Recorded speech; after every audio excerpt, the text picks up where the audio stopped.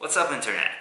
I got my HoloLens about 24 hours ago. I had a time to play with it and I really like the device. There are a few things that are driving me nuts and I want to see if there's anyone out here who is interested in collaborating and just talking about these ideas.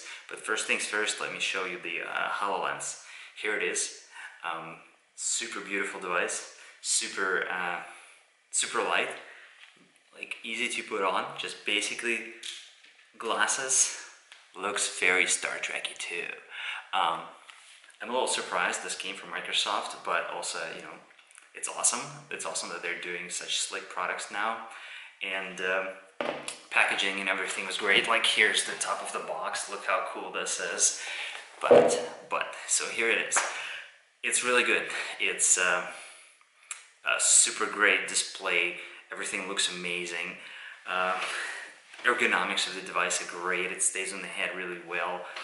Uh, I mean, packaging is awesome, and uh, so far everything's been really good, except except for one thing is uh, the thing still runs Windows 10. Uh, yeah, and Windows 10 is not designed for this holographic abstract experience.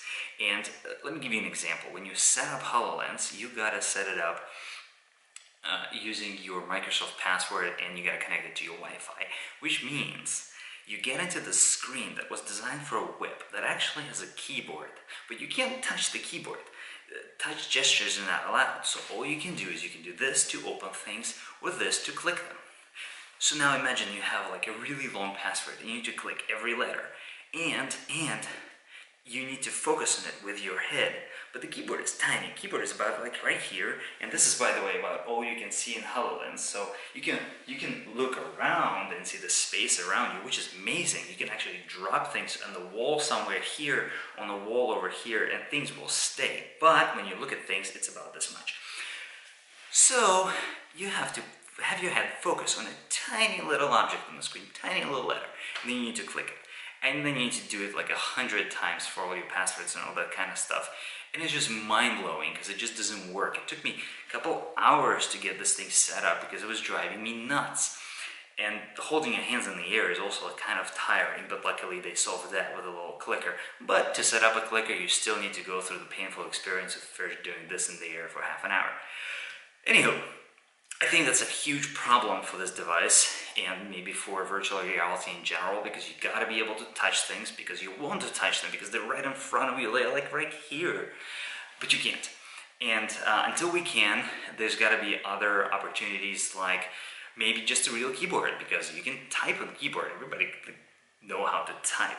Maybe you can take the keyboard and blow it up around you so everything is big. You gotta make targets big. They gotta be like augmented reality ready, right?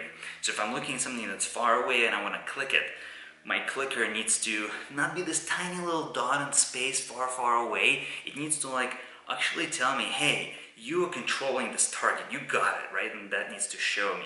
And if I'm looking in front of me on a table, the keyboard I'm looking at shouldn't be tiny because controlling things with your neck is actually really hard. So that's kind of the biggest problem that I'm seeing with HoloLens right now. And otherwise, it's really cool. I'm really looking forward to what I can develop on top of it, what other people are going to develop. Um, tiny, tiny other downside, you actually can't seem to be able to take pictures and videos when you're in an app. So I can't record an app and share it with you and show what I did in the app because you control it via Cortana, etc., etc. It doesn't work. Uh, but otherwise, I mean, this is cool. Uh, the costs about as much as an iMac, so it doesn't quite do as much as an iMac right now. I can probably do 100x more with an iMac than I can do with this, or maybe 1000x more.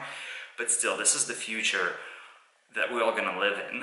And I'm actually a lot more interested in uh, augmented reality that you can manipulate uh, in comparison to um, virtual reality, because I think augmented reality can strip out a lot of the world we live in advertising, traffic signs, um, stoplights, uh, you name it, right? Like things that exist in physical world that don't have a lot of meaning can all go away because you can just put this thing on, turn it on, and you see things that don't need to be there when you don't need them. Anyways, if there's anybody out here who's interested to talk more about uh, user experience and object manipulation with HoloLens and in augmented reality. Let's chat because I think this is cool and there's a lot more opportunity.